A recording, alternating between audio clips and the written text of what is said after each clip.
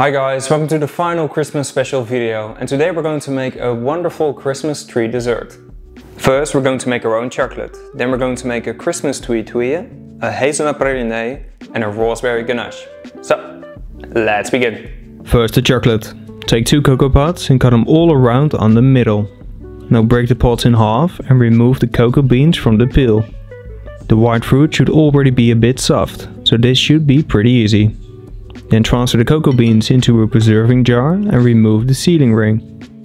Now cover it and let it ferment for 5 to 6 days. Do this in a hot spot in your house at around 25 to 30 degrees Celsius. Two times a day you'll need to hustle it and drain the liquid.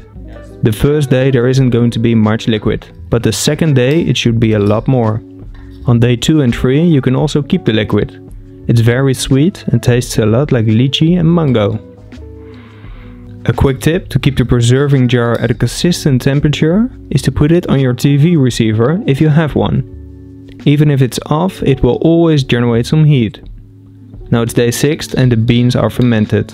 As you can see the beans are almost completely clean and they're turned a bit brown as well. Then transfer the beans on a tray that's lined with a silicone sheet and let them air dry for 2 days. Mix them twice a day. Once that's done, toast them at 170 degrees Celsius for 15 minutes. Then let them cool down for a couple of minutes and remove the membrane. Now transfer 40 grams of melted cocoa butter into a wet grinder and turn it on. And slowly add 260 grams of the cleaned cocoa nibs and let it grind for 1 hour. After the hour also add 100 grams of sugar and let it grind for at least 12 hours. I know it takes a while, but that's the only way to get a super smooth chocolate. Once the chocolate is smooth, turn off the grinder and transfer the chocolate into a bowl. Then we'll need to temper the chocolate. Pour 4 fifths on your worktop and while moving it with a palette knife, cool it down till it's 28 degrees Celsius. Then transfer it back into the bowl and mix it till the chocolate's temperature is 31 degrees Celsius. Directly clean your worktop, otherwise it's going to be a lot of trouble later on. Now pour the chocolate into a mold and tap the mold a couple of times to remove any air bubbles.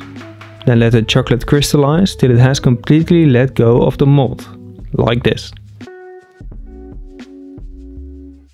Then remove it from the mold and keep it for later. Now for the raspberry gel.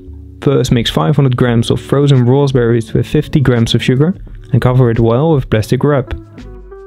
Now heat it up on a bain-marie for around 3 hours on a low heat. Then remove the wrap and let the liquid drain on a sieve that's lined with a kitchen paper. Do this for at least 3 hours in your fridge.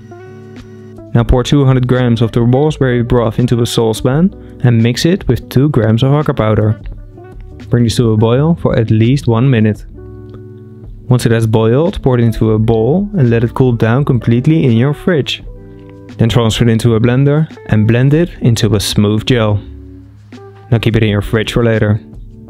Then for the white chocolate snow, mix 100 grams of sugar with 30 grams of water and heat this up till it's 135 degrees Celsius. Meanwhile transfer 100 grams of white chocolate into a bowl and melt it once the sugar is 135 degrees Celsius, slowly while mixing add it to the melted white chocolate. This will create a delicious powder. Now let it cool down at room temperature. Then transfer it into a blender and blend it into a fine powder. Now for the hazelnut praline. Mix 200 grams of sugar with 50 grams of water and caramelize it on a medium heat till golden brown. Then add 200 grams of hazelnuts.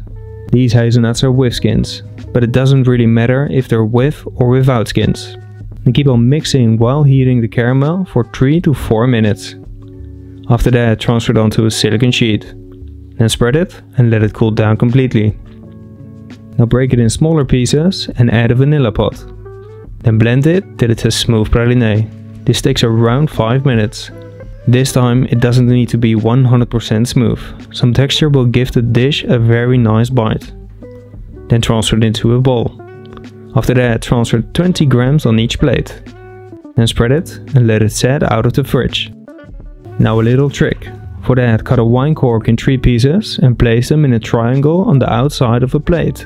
Then put another plate on top and continue stacking all your plates. This is a great way to save some space. Now for the ganache. Mix 80 grams of sugar with 30 grams of water and caramelize it on a medium heat till golden brown. Once caramelized, while stirring, add 60 grams of the raspberry broth and 20 grams of cream. Then also add 60 grams of dark chocolate. Mix it well until it's fully emulsified. Then transfer it into a piping bottle and cover the top of the hazelnut praline. Keep this in your fridge for later. Now for the Christmas tree. Mix 60 grams of egg white with 40 grams of sunflower oil, 50 grams of sugar, 2 grams of salt, 10 grams of butter, 50 grams of flour and a touch of green coloring powder. Blend this. Then transfer it onto a silicone mold and spread it. The mold I'm using here is from Mold Brothers.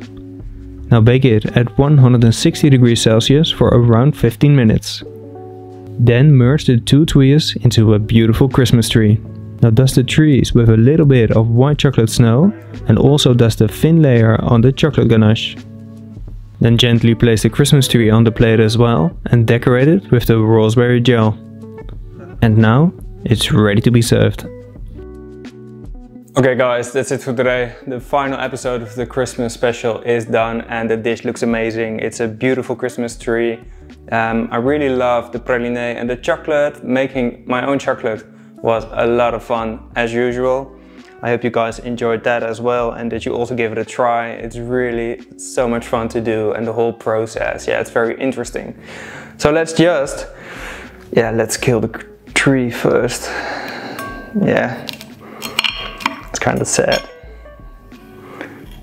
Yeah, the praline is really delicious.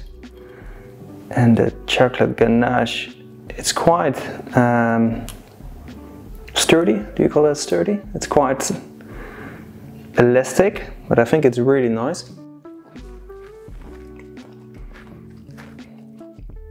Yeah, that's super delicious.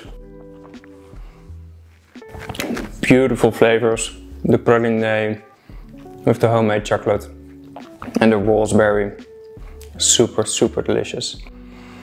Um, so guys, I hope you've enjoyed this Christmas, uh, this year's Christmas special. Please let me know in the comments on what you want to see after the special. Um, so next week actually. I wish you all a Merry Christmas and I hope you get to spend it with your loved ones, your friends and family. And as always, bon appetit, Merry Christmas.